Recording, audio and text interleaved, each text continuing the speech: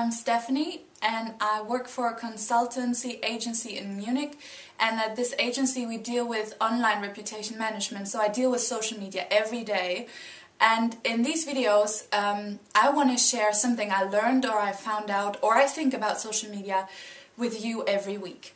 So this week I would like to talk about how social media are so much more vis visual than they used to be. I particularly like that because I'm a very visual person and ever since uh, Facebook changed the timeline and the stream to better promote pictures, I really like it better. I don't know about you. Um, of course, you're very welcome to share all your views on, on this afterwards in the comment section. Um, also, all the um, like I used Flickr a lot of the time, but I never thought it was really social. I sort of stored my stuff there to give it a bit of Google juice, um, but it never really was an interaction platform for me. I don't know about you.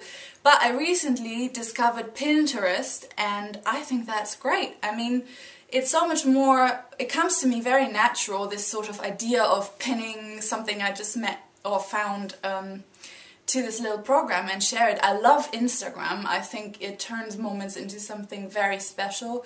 Infographics have been around so long and I personally think that social video is um, becoming so much more important this year. Um, all the companies are putting bigger budgets towards it and they're doing campaigns but they also see that they need their own YouTube channels to promote their ideas and their take on things and I really like that. And, and also I wanted to show you something. Um, Warner Brothers is going to uh, put out this little platform called Out My Window. I think it's not out yet. I think it's going to start on the 9th, which is tomorrow. Um, you can sign up on outmywindow.com if you want to know about it. And it looks a bit like a mixture of Flickr and, um, and Pinterest, but uh, I'm not really sure. But I think it's supposed to follow up on this idea that Facebook is also promoting about making the internet the archives of our lives. And I know that many people are a bit um, torn between whether they think it's good or not but I personally like that idea of having an archive about yourself from you know most babies have their pictures on Facebook. They don't really get a say in that but they're on there.